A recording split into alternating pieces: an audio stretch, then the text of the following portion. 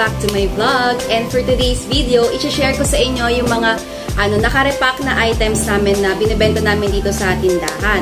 So, ito guys, mga mabebenta to ha, dahil sa panahon ngayon, di ba, medyo uh, mahal yung mga bilihin. So, ang hinahanap ng tao ay yung mga mura, tsaka yung tingi-tingi. Kumbaga, kung ano lang yung kailangan nila dun sa lulutuin nila, ayun lang yung gusto nilang bilhin. Kasi nga, medyo mahal if marami silang bibilhin or hassle din kung pupunta pa sila sa palengke, di ba?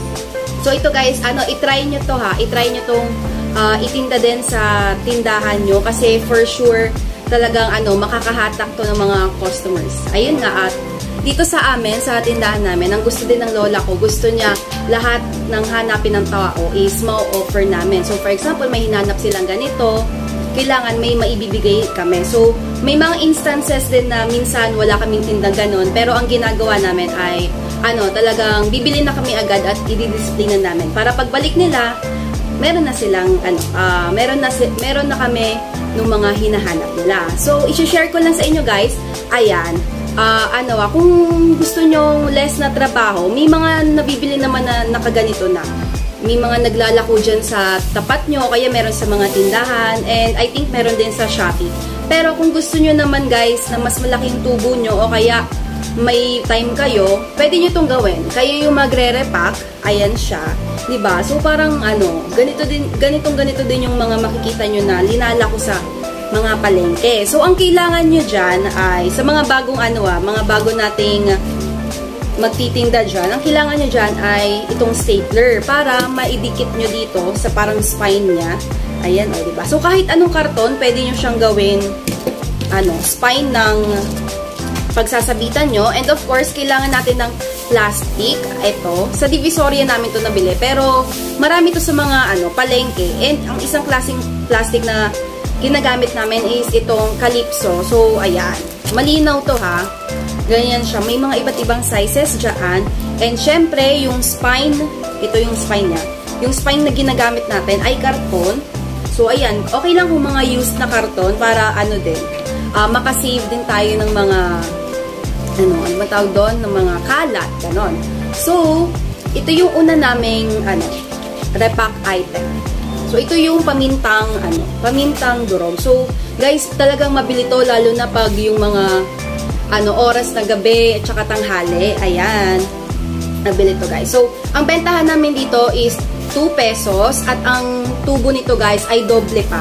So, bumibili lang kami ng 1-4 lang. And parang mga nasa 90 pesos yon Tapos, ayan, dos namin siya binibenta. So, kayo na bahala doon. Kung gusto nyong damihan, okay lang. Kung gusto nyong ontian, okay lang. Pwede, ano, before kasi guys, ang benta talaga namin dito is piso. Pero, mas maganda kasing tignan kung tigdo-dos. Ang piso namin, wait lang, nagala. Ang piso namin guys, onting on, ano lang, medyo onti dito. So, mas maganda siya, di ba? Pag dos, yan. And guys, ano ah, kahit papano naman, talagang ano, hindi to natitenga. Kasi nga, kailangan siya ng tao. And if ever man na hindi mag-work to sa inyo, hindi pa rin lugay kasi nga magagamit niyo sa pagluluto, di ba? So meron naman tayo ditong crack ano, pepper or paminta. Ayan, 2 pesos din siya. Di ba napakaganda? So kayo na bahala kung anong diskarte niyo diyan. Sa amin ito, hindi siya nakikita ng tao kumbaga nandoon siya sa loob ng tindahan. Pero alam ng tao na may binebenta kaming ganito kasi nasani na nga sila. Pero kung bago pa lang kayong ano, magbenta ng ganito, pwede siya i-display sa ano, sa, ang sa harap ng tindahan nyo. Tsaka ano nga eh, kung gusto niyo din ng dagdag kita, mag-post kayo sa mga Facebook page, Facebook page ng ano, sari-sari store. May mga naghahanap ng mga nagbebenta ng ganito. So, pwede kayo mag-resell din sa kanila. So, ayan siya, cracked pepper din. Ayan, 2 pesos. And guys, pala, sa pricing natin, kung gusto nyong mas convenient, pwede ding marker lang, tapos sulatan nyo dyan. Pero kung gusto nyo naman na medyo maarte or pres mas presentable, ayan, pwede kayong gumamit ng ganito, yung pang tag price. Yan. So, itong isang roll na to, makapal to, 5 pesos lang. So, yung pinagbilhan ko nito, ilalagay ko yung link sa description box para ma-check nyo kung ma-check nyo kung saan kami bumibili.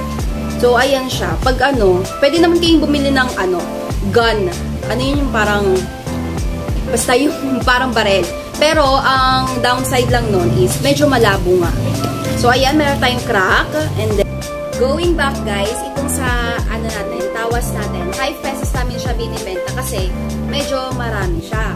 And then, itong tawas naman na to, hindi namin siya sa palengke nabili, sa uh, divisory namin siya nabili. Mga ilang months na din ang nakalipas and isang kilo yung binili namin, hindi pa siya umaabot ng ano, ng 100 pesos. Para mga nasa 70 pa siya. And pasensya na guys kung medyo maingay kasi andito lang ako malapit sa labas. So, sa isang kilo, ito na lang yung natitira. O, di ba? Sobrang ano to, uh, matubo. And kung ano naman, okay lang naman na bumili kayo ng mga tig 1-4 lang, katulad nung ginawa namin dito sa paminta. 1-4 lang muna yung binili namin. So, ayan siya guys. Okay, ang next naman natin ay itong pamintang buo. Ayan siya. Mabenta din to lalo na sa mga nag-aadobo dyan. Ayan, may mga suki na kasi kami talagang sa amin sila bumibili ng mga ganito. At, at syempre, pag may adobo, kailangan din ng laurel. Ayan. Diba? Tigdo dos. Talagang kami lang yung nagre-repack nito kasi nga, mas matubo siya. And pwede nyo din yun gawin sa inyo. So, kung ano-anong maisip nyo i-repack.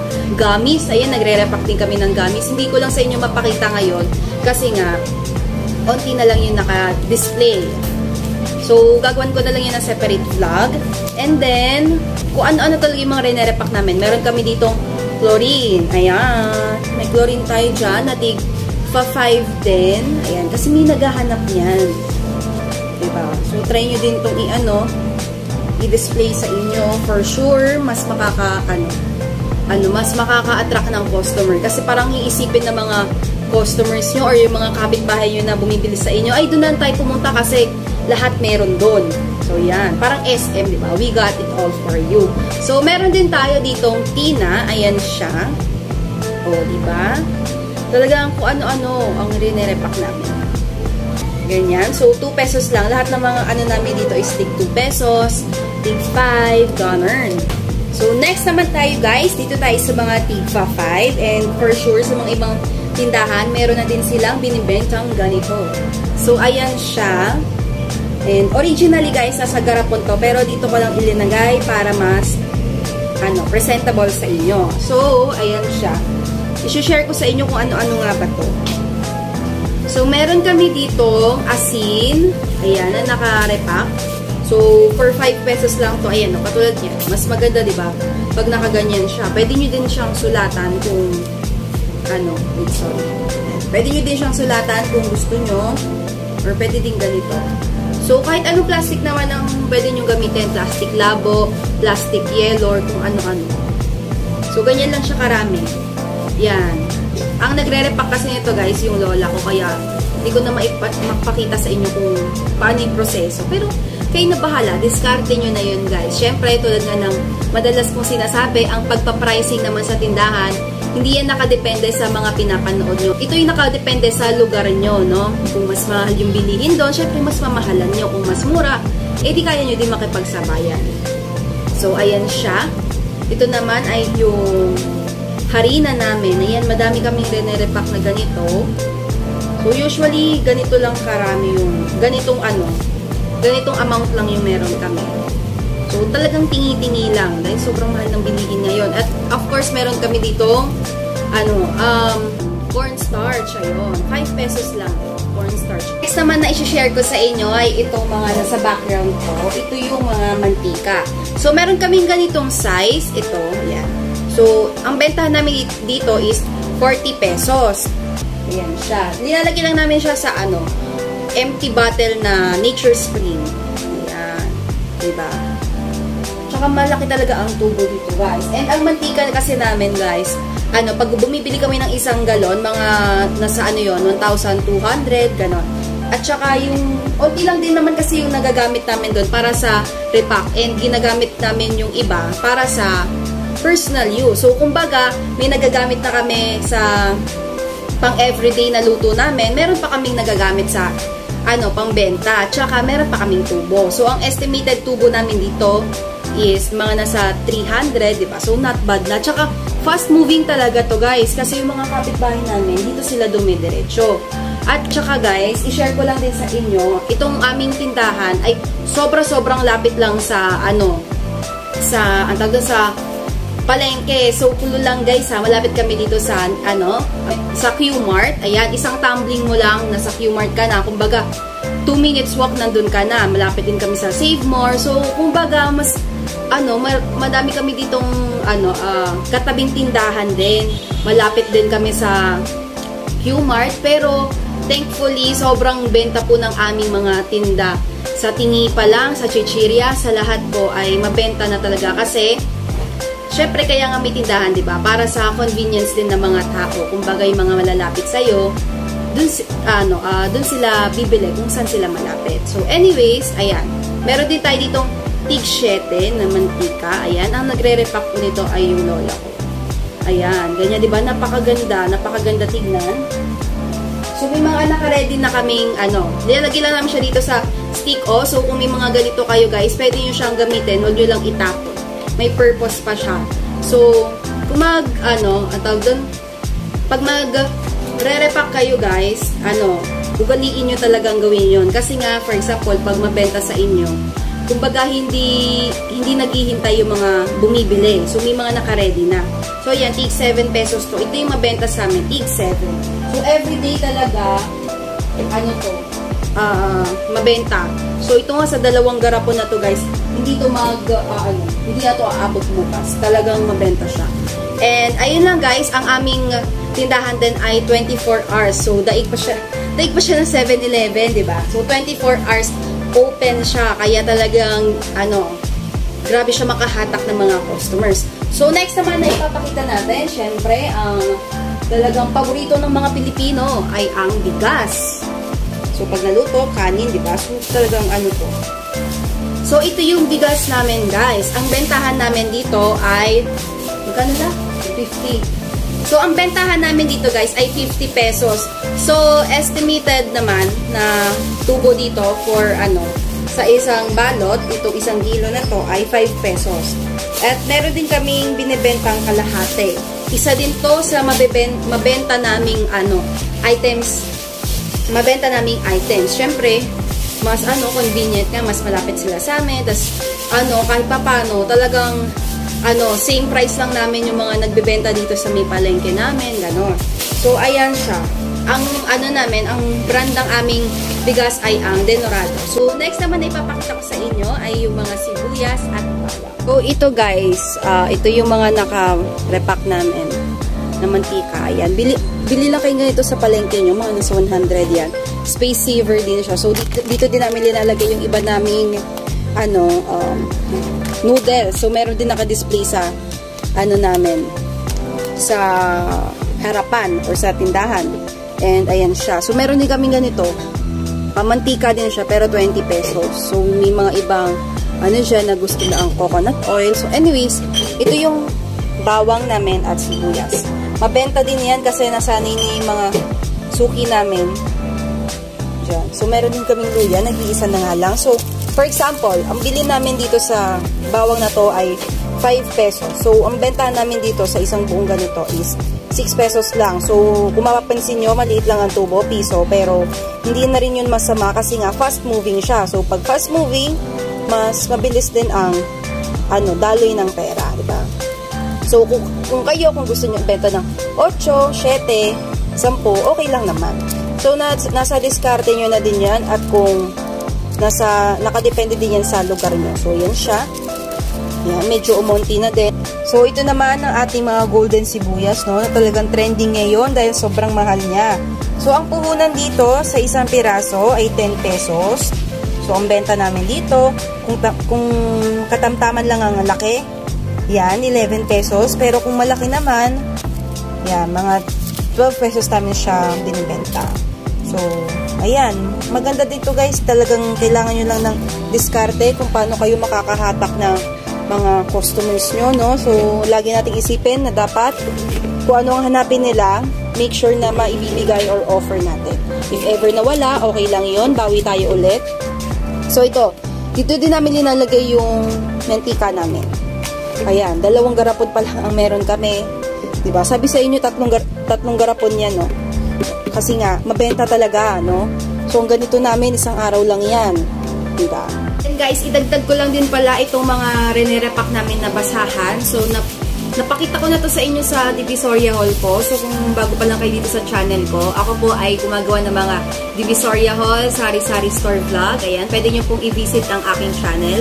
Kung gusto nyo pong makita kung ano nga ba yung mga pinamimili namin sa Divisoria. So, yun. So, ito siya guys. Ito yung basahan na bilog. Sobrang mabenta to kasi talagang ginagamit siya ng tao. So, ang bentahan namin dito ay, wait lang, pakita ko sa inyo yung loob niya ha. So, 3, ilang, ilang pieces? 4 pieces, ayan. 4 pieces siya, 10 pesos namin siya binibenta. So, ang ginagawa namin dito, dito namin siya linalagay, calypso din to, pero ito yung tinatawag nila na plastic labo. So, yan apat na pirasong basahan. So, ang mga bumibili nito, ay ang mga gumagamit nito usually, for example, yung mga jeepney drivers, o kaya yung mga usual na tao lang na pinangpupunas. No? Meron din kasi kami dito malapit na parang, di siya talyer eh, pero mga parkingan ng truck. Kaya, so kami din, ginagamit din namin to pampunas-punas, ayan siya.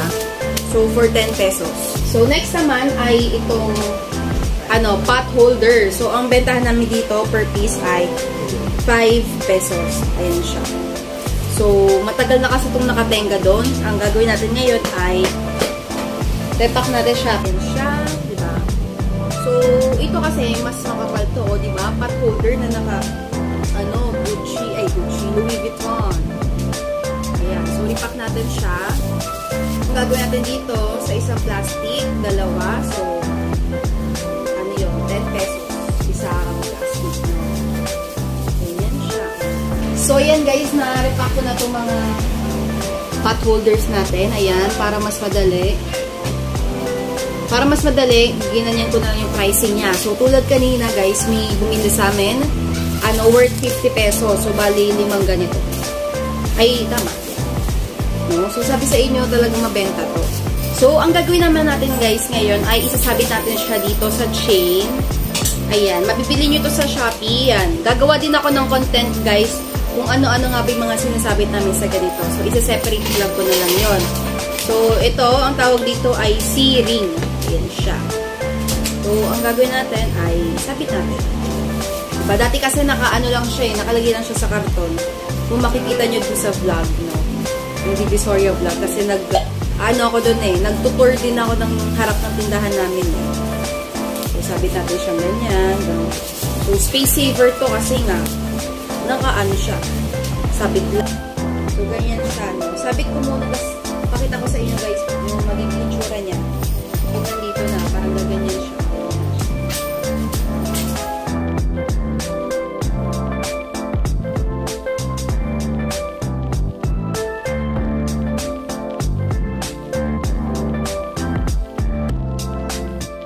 Yun lang guys, yung may share ko ngayon. Sana may natutunan kayo or sana na-entertain kayo, nakakuha kayo ng mga tips or ideas. And let me know guys kung gusto nyo pang makakita ng ano, iba pang content about Sari Sari Store. Ayan, comment, comment it down. And kung may mga suggestions kayo, ano, i-share nyo lang din yan sa comment section. So, ayun guys, at saka kung gusto nyo, kung gusto nyo din magkaroon ng ano, ng parang sari-sari store tour. Ayan, comment it down. So, tingnan natin kung magagawa natin yon para magkakuha naman kayo ng idea sa kung gaano nga ba kalaki ang aming tindahan. So, wag kayong mag-expect guys ha. Ang katamtaman lang po ang laki ng aming tindahan.